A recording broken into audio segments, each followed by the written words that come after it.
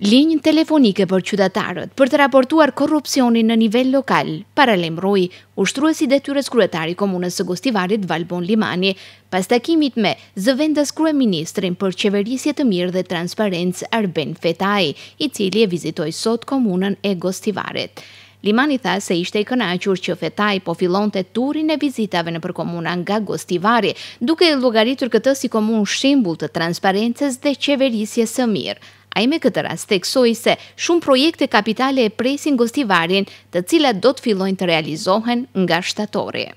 Sot kisha nderin të mirëpres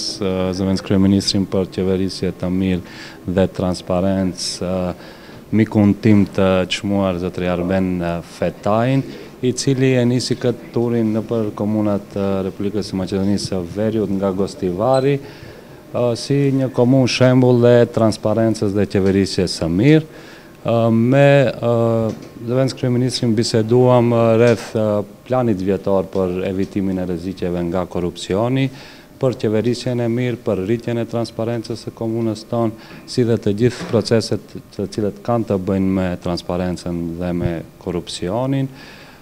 Biseduam rreth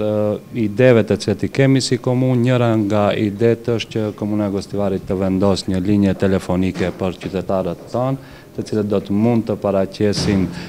korrupsionin në nivel lokal nga të gjithë institucionet të cilat kanë të bëjnë me Komunën e Gostivarit, si dhe një email i posaçëm zyrtar në të cilën mund t'i paraqesin këto raste. Gjithashtu diskutuam edhe për organizimin e një debati dikur atje në muajin shtator, ku do të kishte marrë pjesë edhe zëvendëskryeministri, po edhe të gjithë, le të themi, aktorët tjerë të cilët kanë të bëjnë me institucionet, ku do të kishim biseduar pak më tepër për këtë temë. Përveç gjithë këtyre, si përfaqësues i qeverisë, biseduam edhe për projektet të cilat E presin komunën tonë Gostivarin nga ana e qeverisë dhe të cilat shpresoj do të nisin nga muaji shtator.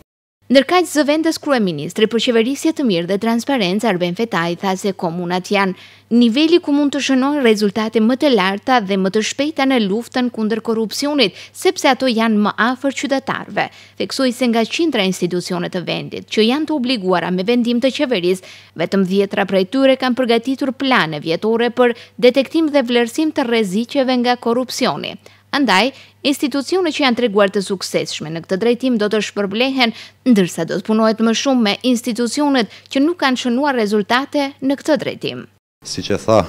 doktor Limani, për dy tre vite tani më ka një kërkesë, një vendim të qeverisë sipas së cilit institucionet qendrore, por dhe ato lokale duhet të dorëzojnë plane për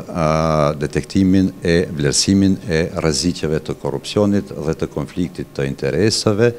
dhe dua të them këtu se fatkeqësisht për shkak të mungesës së vullnetit politik Shkalla e përgjigjeve që qeveria ka marrë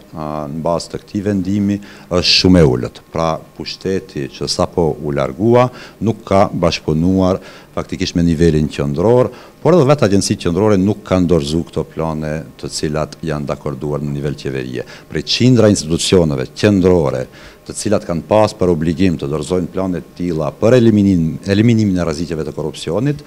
Dua të them se vetëm dyzet e një të tilla kanë dorëzuar plane për këtë vit në qeveri, prej tyre vetëm dhjetë komuna, ndër to është komuna e Gostivarit. Andaj unë fillova këtë tur